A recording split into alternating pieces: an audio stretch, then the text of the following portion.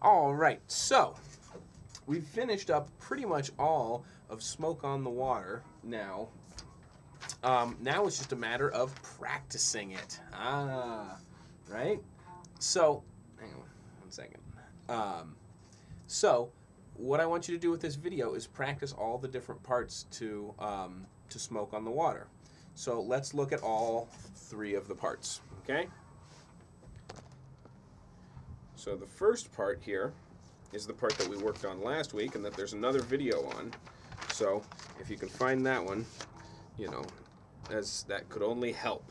So um, we have the riff starts here, playing five and five, the fifth fret of the fifth string, the A string, and the uh, fourth string, the D string. Then you move that up to the eighth fret, and then up to the tenth fret, back to the fifth, eighth, eleventh, tenth, fifth, eighth, tenth, eighth, fifth. Okay, so that's the whole. That's the main riff. That's the riff you play the most in the song.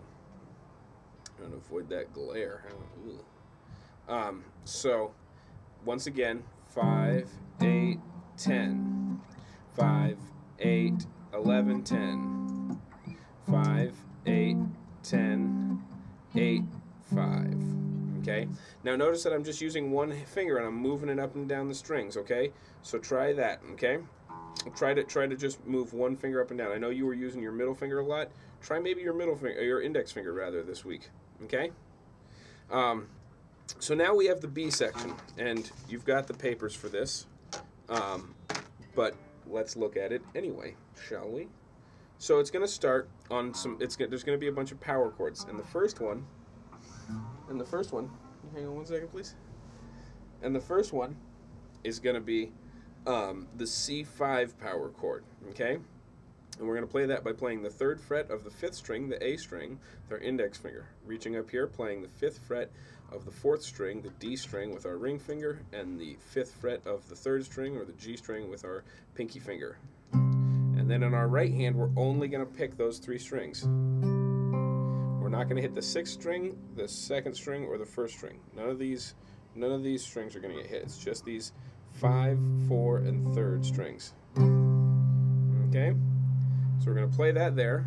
And then we're going to move that chord down to the fourth fret of the sixth string. So it's just right there. Same exact shape, but now we're playing four, six, and six. Okay? So that's so from here, three, five, five to four, six, six. Okay? You're just moving it down a string and up a fret. No big deal. You're to do the same thing. You're to hit you're to hit just those three strings, but now it's to be six, five, and four. Okay?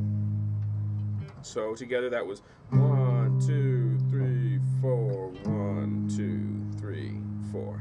Okay? Now we're gonna we've got another little riff, but it's kind of the same thing. Uh, where we play five and five on the fifth and fourth strings, respectively. And we go five, eight, five, eight, five, three, five. So same same kind of thing where we're just moving our index finger around. Five, eight, five, eight, five, three, five. And then we do it again. Five, eight, five, eight, five, three. But then we end there. We don't go back up to the five the second time. Then we go back. We play that C5 power chord again.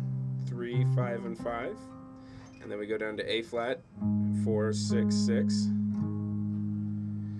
and that's the end of the B section. Then we go back, then that would take us back to the main part, the uh, 5, 8, 10, 5, 8, 11, 10, okay? So all together, let's look at the B section.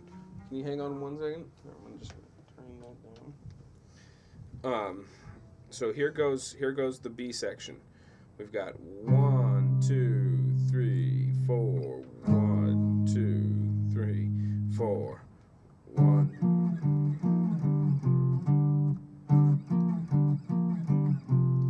Okay, so again, it's five eight five eight five three five five eight five eight five three. Then back to the C power chord here, the three five five. Then A flat four six six. Okay, and then it would go back to the main riff, as I said. Five eight ten five eight eleven ten. That thing. Okay. And the last part we learned today was the um, was what we're calling the C section of the song. Okay, and that's this part's real easy um, for our left hand because we just stay on a G power chord now, or G5, where we're playing three, five, five. But now we're starting on the sixth string instead of like the C. We started on the fifth string. Now we're starting on the sixth string.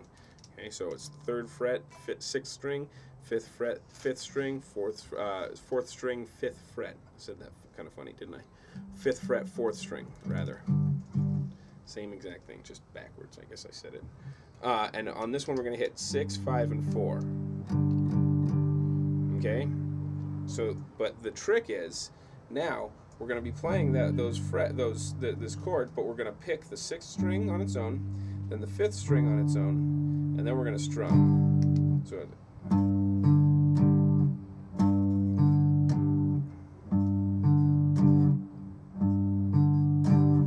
Okay, so those that's that's those are the two new parts that we learned, as well as a little bit about the form, how we move from one section to the next, and um, and yeah. So what I want you to do is I want you to practice all these parts because once we get this together, then we can start playing the song and getting it up to speed and you know making it sound like the the recording. Okay. All right. So practice that stuff.